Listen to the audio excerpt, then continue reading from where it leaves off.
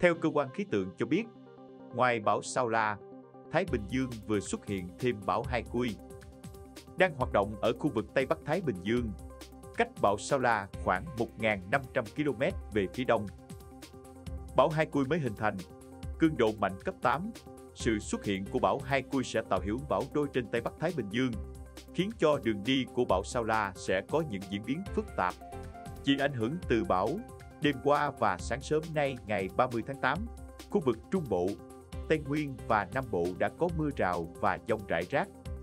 Dự báo tại khu vực Quảng Bình đến Quảng Ngãi, Tây Nguyên và Nam Bộ sẽ có mưa dông và mưa lớn cục bộ và khả năng kéo dài trong những ngày tới. Sáng ngày 30 tháng 8, thông tin nhanh với phóng viên báo Sài Gòn Giải phóng, Đại tá Huỳnh Bảo Nguyên, Phó Giám đốc Công an tỉnh Bình Định cho biết, bước đầu lấy lời khai hung thủ cướp tiệm vàng, cơ quan điều tra nhận thấy Nguyễn Văn Sĩ có biểu hiện bị tâm thần. Sự việc xảy ra vào khoảng 18 giờ 30 phút tối ngày 29 tháng 8. Sĩ vào tiệm vàng Mỹ Linh 2, nằm trên đường Trần Phú, thị trấn Diêu Trì, bất ngờ đập vỡ tủ kính và cướp đi nhiều vòng trang sức vàng rồi bỏ chạy.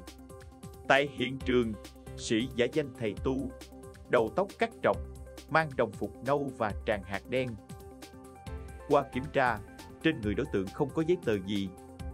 Đại tá Nguyên cho biết, lực lượng chức năng sẽ đưa sĩ đi giám định tâm thần để xác định cụ thể tình trạng, biểu hiện, hành vi. Ngày 29 tháng 8, Tòa án Nhân dân tỉnh Thừa Thiên Huế mở phiên tòa xét xử sơ thẩm đối với bị cáo Đặng Văn Đồng, 51 tuổi, trú tại Bình Phước, về hai tội giết người và cướp tài sản. Theo cáo trạng, bà L. T. O. trú tại phường Hương Thọ, thành phố Huế, vào xã Minh Hưng, huyện Bù Đăng, tỉnh Bình Phước hái điều thuê thì gặp Đồng và có quan hệ tình cảm với Đồng từ tháng 6 năm 2010. Vào ngày 10 tháng 10 năm 2022, trong lúc lời qua tiếng lại vì chuyện về các tin nhắn, Đồng nổi cơn ghen và đâm liên tiếp 31 nhát vào cơ thể bà O, khiến nạn nhân tử vong tại chỗ. Sau đó, Đồng lấy điện thoại di động và xe mô tô của bà O, bỏ trốn. Vừa qua, Hội đồng xét xử tuyên phạt tử hình đối với bị cáo Đặng Văn Đồng về tội giết người và 8 năm tù về tội cướp tài sản. Án phạt mà bị cáo phải nhận là tử hình. Sáng nay ngày 30 tháng 8, nhân dịp kỷ niệm 78 năm ngày Quốc khánh, thành phố Hà Nội tổ chức lễ khánh thành cầu Vĩnh Tuy giai đoạn 2, giải quyết điểm nghẽn giao thông giữa hai bờ sông Hồng. Tại buổi lễ, Thủ tướng Chính phủ Phạm Minh Chính biểu dương sự nỗ lực, năng động, linh hoạt của các cấp ủy đảng. Chính quyền thành phố Hà Nội đã vượt qua nhiều khó khăn, thách thức để hoàn thành dự án cầu Vĩnh Tuy giai đoạn 2. Dự án cầu Vĩnh Tuy giai đoạn 2 là một trong những công trình giao thông trọng điểm của thành phố Hà Nội giai đoạn 2021 đến 2025. Đây là công trình đóng vai trò quan trọng nhằm hoàn thiện tuyến đường vành đai 2 và kết nối với các tuyến vành đai khác của thành phố Hà Nội, tạo tiền đề cho việc hình thành chuỗi các đô thị phía Bắc thủ đô. Sáng ngày 30 tháng 8, Cục Quản lý xuất nhập cảnh tổ chức họp báo thông tin về kết quả triển khai luật số 23 và cổng kiểm soát xuất nhập cảnh tự động.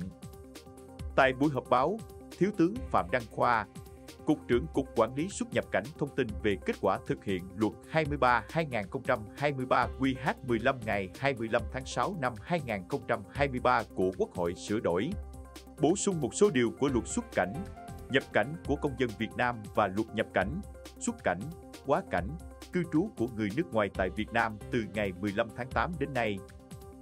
Theo thống kê từ A08, từ 15, 8 đến 30, 8, đã có hơn 337.000 lượt người nước ngoài nhập cảnh Việt Nam theo diện đơn phương miễn thị thực, chiếm 70% tổng lưu lượng nhập cảnh. Việc cho phép công dân tất cả các quốc gia, vùng lãnh thổ được xin cấp thị thực điện tử sẽ giúp họ dễ dàng hơn khi quyết định tới Việt Nam, sẽ tạo bước ngoặt về phát triển du lịch, thu hút đầu tư nước ngoài. Đồng thời, công dân Việt Nam cũng được tạo điều kiện thuận lợi nhập cảnh ở nước ngoài Sáng ngày 30 tháng 8, ông Phan Trần Vạn Huy, Chủ tịch Ủy ban Nhân dân thị xã Sông Cầu, Phú Yên, cho biết lực lượng chức năng của địa phương đã nhanh chóng dập tắt vụ cháy rừng xảy ra trên địa bàn.